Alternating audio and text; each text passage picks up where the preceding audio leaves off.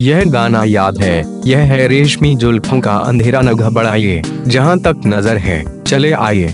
जी हाँ यह कोई आज की ही बात नहीं है। दुनिया में हमेशा से ही स्वस्थ व चमकदार बालों की दुनिया ही खूबसूरती का पैमाना रहे हैं। दुनिया में सबसे पहले इंसान को जब सौंदर्य बोध का एहसास हुआ तो वे बालों के ज़रिए ही हुआ। और बालों की देखभाल से ही सौंदर्य की देखभाल और इसके निखारने का सिलसिला शुरू हुआ। सिंधु, सुमेरियन, मेसोपोटामियन, आप किसी भी सभ्यता का नाम लीजिए और वहाँ के नारी श्रृंगार का इतिहास पढ़िए। हर जगह बालों की महत्ता के बड़े बड़े आख्यान मिल जाएँगे। बालों के आकर्षण, उनके प्रति सजगता और उनकी देखभाल का यह सिलसिला आज भी जारी है। आज भी पूरी दुनिया में सबसे ज़्यादा बालों की ही केयर की जाती है। आर्थिक जगत की मशहूर वैश्विक पत्रिका द इकोनॉमिस्ट के मुताबिक पूरी दुनिया में हर साल दो सौ चौवन बिलियन डॉलर का कारोबार बालों के रखरखाव के लिए होता है।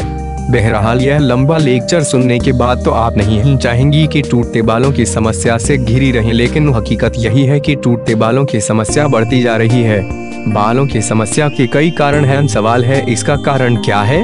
बालों के टूटने का सबसे सामान्य कारण केमिकल युक्त shampoo, hair style techniques colouring, dye, bleaching, straightening आदि हैं। इससे बाल कमज़ोर पड़कर टूटने लगते हैं। यही नहीं, प्रेसिंग व ड्रायर करने से भी बाल खराब हो जाते हैं। बालों की ऊपरी लेयर क्यूटिकल बालों की रक्षा करने के साथ उसकी शाइनिंग बनाए रखती है। लेकिन क्षतिग्रस्त बालों में क्यूटिकल की लेयर हट जाती है और बाल अपनी चमक खो देते हैं। चमक खत्म हो जाने से बाल खराब, बेजान और निष्क्रिय हो जाते हैं। क्षतिग्रस्त बालों का रख रखाव सावधानी पूर्वक करना चाहिए मसलन, ऐसी स्थिति में कुछ दिनों के लिए चौड़े दांतों वाले कंघे का इस्तेमाल करना चाहिए, खासकर जब बाल गीले हों अगर बाल बहुत रुखे हुए हैं तो हफ़्ते में कम से कम दो बार नारियल तेल को गर्म करके बालों की जड़ों से लेकर सिरे तक लगाएँ।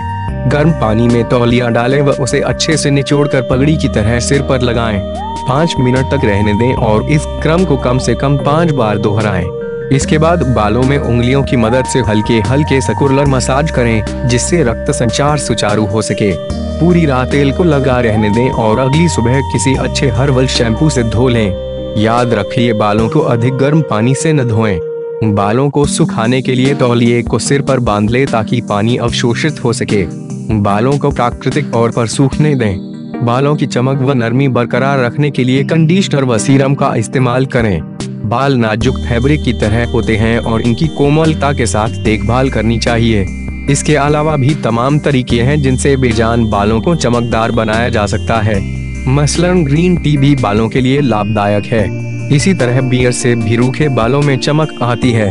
बियर में थोड़ा नींबू का रुपया मिलाकर इससे बालों को धोएँ व अंत में सादे पानी से बालों को धोएँ।